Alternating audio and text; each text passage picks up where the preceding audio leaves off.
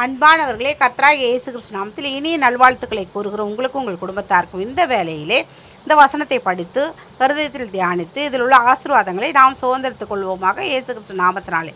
யோபு இருபத்தி ஒம்போதாவது அதிகாரம் மூணாவது வசனம். அப்பொழுது அவர் தீபம் என் தலையின் மேல் பிரகாசித்தது. அவர் அருளின வெளிச்சத்தினால் இருளை கடந்து போனேன். இந்த வார்த்தைக்காய் நன்றி செலுத்துகிறோம் ஐயா. நன்றியோடு துதிக்கிற கர்த்தாவே. என் தலையின் மேல் பிரகாசித்தது. அப்பொழுது அவர் தெய்வம் என் தலையின் மேல் பிரகாசித்தது. கர்த்தராகி இயேசு கிறிஸ்து இந்த பூமிக்கு ஒளியாக இருக்கிறார் என்று வேதத்தில் காணுகிறோம். அந்த ஒளியாக இருக்கிற கர்த்தராகி இயேசு கிறிஸ்து தாமே நம்முடைய உள்ளத்தில் பிரகாசிக்கும் போது நாம் இருளை கடந்து போவோம். இருள் என்றால் பாவத்தை குறிக்கும். பாவம் வியாதி சாபங்கள் இதெல்லாம் இருள். இதெல்லாம் நம்ம கடந்து போகத்தக்கதாக இந்த பூமியிலே நமக்கு ஒரு ஒரு பாதுகாப்பு என்னென்னா கர்த்தராக இயேசு கிறிஸ்து நாமம். அவர் தாமே நம் உள்ளத்தில் பிரகாசிக்க வேண்டும்.